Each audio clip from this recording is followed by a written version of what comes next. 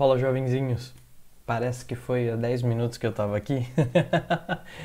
então, hoje a gente vai falar sobre um outro pacote que eu gosto de usar, mas esse aqui é um pacote um pouco sério, na minha opinião, e ele é meio que polêmico em determinados casos quando a gente fala sobre Emacs. Que pacote é esse? É o Ergo Emacs. Opa, não consegui, agora foi. Ergo Emacs é um modo do Emacs para a gente poder usar isso, isso tudo, toda a potência do Emacs, usando os comandos mais simples, ou seja, sabe, Ctrl C para copiar, Ctrl V para colar, Ctrl Z para voltar, que são os atalhos de todos os outros editores. E ele ganhou esse título de Ergo Emacs porque ele é mais ergonômico, eles vão falar sobre ergonomia nesse caso, mas é porque as pessoas geralmente têm ler, as pessoas que usam Emacs. Pode parecer que isso é, é, é brincadeira, mas é, é, sério, eu juro. Então, por isso ele chama Ergo Emacs. Então ele vai definir aqui, vai explicar como instala e tudo mais. E aqui ele tem um modo aqui e ele vai simplificar muitos atalhos. Muitos atalhos. Sério, é sério. Vai simplificar a nossa vida. Então, por exemplo, aqui ele dá um, um teclado normal, QWERTY aqui, para a gente ver como é que vai funcionar. Ele dá suporte para Devorak, que também é outro modelo de teclado, e deixa ergonômico também o Devorak. Se você usa Devorak, é muito massa, eu sou seu fã. Um dia eu vou comprar um teclado mapeado com Devorak também. Uh... Então, partindo aqui, ele vai falar para a gente, ó, Ctrl C, copia, Ctrl V, ó, o V é o verdinho aqui, né? Deixa eu ver se eu consigo deixar isso maior. Ah, ficou pior a imagem. Aqui ele vai falar, ó, Ctrl C copia, Ctrl V cola é o verde. Ctrl X da cut, Ctrl Z da undo, Ctrl S salva, Ctrl F da search, né, que é de find alguma coisa, né? Então, que no Emacs é Ctrl S por default. Então ele vai facilitar algumas coisas que vão ficar bem simples para a gente mexer, né? Então, por exemplo, os comandos com Alt são os azuis, né? Então, ó, Alt C, V, X, é tudo da, a mesma coisa que o Ctrl, né? Então ele fecha o painel, fecha o outro painel da split de maneira mais simples. A gente não precisa ficar Ctrl X2, Ctrl X3. Isso vai facilitar muito a vida.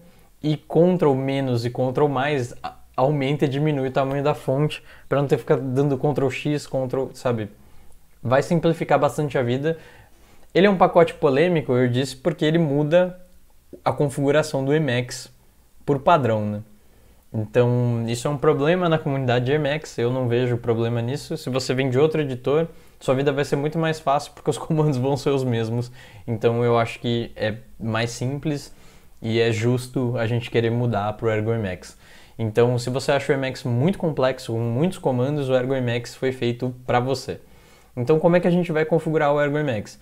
Ele está falando aqui que ele está disponível no Elpa, então que no Melpa também deve estar com o mesmo nome, então é Ergo Emacs Mode. Então, como a gente não está usando o require aqui, a gente está usando o usepack, a gente vai seguir o padrão um pouco diferente, mas aqui ele vai falar que para habilitar o Ergo Emacs Mode tem algumas coisas que a gente precisa fazer aqui, então daqui a pouco a gente faz isso aqui. Então vamos instalar o pacote primeiro. Então massa. A use package, a gente vai usar o pacote. Oh, ó, já tô já achei que eu tava no modo no modo de dar Ctrl V aqui. Ainda não instalamos o plugin.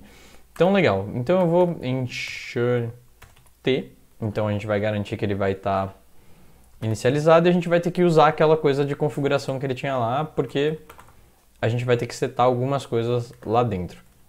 Então prog n para a gente abrir aqui. Então aqui os comandos que a gente vai digitar aqui dentro. Legal. A gente tem algumas coisas aqui, eu vou voltar lá na tela do, do da configuração para a gente ver o que, que a gente tem que mudar. Ele vai falar aqui, ó, setQ, então seta a variável ergoMX theme, o tema do ergoMX para new, para usar no, no padrão do, do, teclado que tem aqui. Você pode selecionar outros layouts de, de teclado também. Então aqui é o, é o tema padrão, você pode criar o seu próprio tema de ergoMX. Não é o caso, a gente vai usar o que está aqui mesmo. Então, legal. O primeiro comando que a gente tem é esse, dei Ctrl V de novo aqui, Ctrl Y, setamos essa configuração aqui. Legal. Agora a gente tem que setar o modelo do nosso teclado, que era a segunda configuração que tinha aqui, que é teclado americano, vai subindo que você tem um teclado QWERTY. Então, porque poderia ser Dvorak. Então não é o meu caso, pode ser o seu, não é o meu, mas a gente vem aqui e coloca esse plugin aqui também. Legal, a gente tem que colocar mais coisas aqui dentro. que mais que a gente tem que colocar na configuração? Eu acho que só o Ergoemax Mode para a gente ligar ele. Então aqui a gente está chamando literalmente a função do Ergoemax e ligando ela.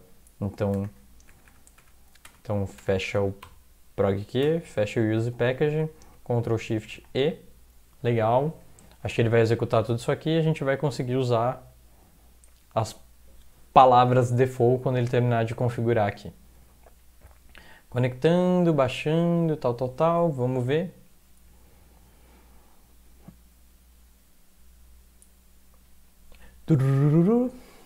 Internet me trollando, beleza. Egor Max loading, tema, beleza. Tá startado. Ou seja, agora eu posso vir aqui, pegar essa linha inteira e dar Ctrl X. E sumiu! Olha que massa! Funciona! Ergomax é muito legal. Ctrl Z dá Undo. É os atalhos normais do teclado, né? Ctrl mais, Ctrl menos, diminui as coisas. O meu, os meus outros atalhos continuam funcionando aqui, isso é legal, porque ele não estragou meus atalhos antigos. Então, é muito massa. O Ergomax vai dar essa coisa aqui, você tem que decorar alguns comandos diferentes, mas ele já tem uma cola aqui de todas as coisas.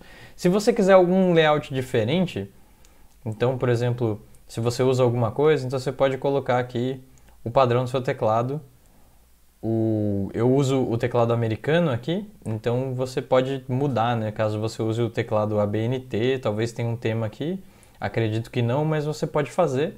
E aí o standard você pode usar o, o standard que é esse que está aqui, ele tem um modo level 1, que é só para arrow keys, né? Olha que legal. Só para poder navegar. Tem gente que tem teclados pequenos, né, que não tem as setinhas, então você pode usar isso se você precisar. E tem o level 2, que é toda a movimentação aqui para todos os lugares, pula palavra, vai para frente, vai para trás. O padrão para mim funciona legal porque ele muda todas as teclas do Emacs eu acho que isso facilita muito para mim.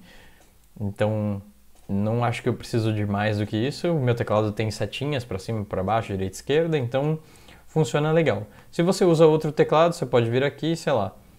Ah, vamos achar o teclado Devorak aqui. UK Devorak. O layout do teclado muda completamente, então mudam todos os lugares, o Ctrl X, continuam os atalhos, mas a posição do teclado é completamente diferente, né? Olha que loucura isso aqui. 7, 5, 3, 1, 9, 0. Então o Devorak é um teclado bem diferente. Então, se vocês quiserem explorar depois, se vocês gostarem de Devorak, inclusive, ou se vocês tiverem um teclado, sério, me dá, me fala alguma coisa aí que eu acho, sou fã de Devorak, acho muito legal. Então, tem para todos os gostos o Ergo MX aqui, tem modos para tudo. Então, esses são os temas inclusos, você pode criar o seu próprio tema e fazer o que você achar melhor depois. E tem os levels de todos os temas, então se vocês quiserem acessar depois é ergomx.github.io, você vai cair nessa página, tem uma documentação aqui para fazer para mudar de modos, tem algumas outras coisas, tem features bem avançadas aqui e tem um tips aqui que tem coisas interessantes, né? Smart Commands.